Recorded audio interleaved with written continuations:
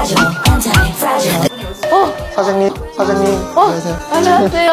알바하러 왔어요. 감사합니다. 배우 프린스. 아니에요. 여기 재팬 퀸. 근데 원래 이름도 사쿠라예요. 미야와키 사쿠라. 미야와키 사쿠라. 어. 사쿠라 하면 저 나루토 생각이 좀 많이 나가지고. 예. 날도 좋아요, 저도. 새우요? 벌레 튀김. 벌레 튀기? 예, 맛있어요? 메뚜기 이런 거. 네, 맛있어요. 어떤 맛이요? 간장 팝콘 맛? 그 웃긴 사람들이네요. 웃긴 사람들이네요. 음. 웃기냐? 이거 봤어요. 그거 너무 웃겼어요, 아, 진짜. 감사합니다.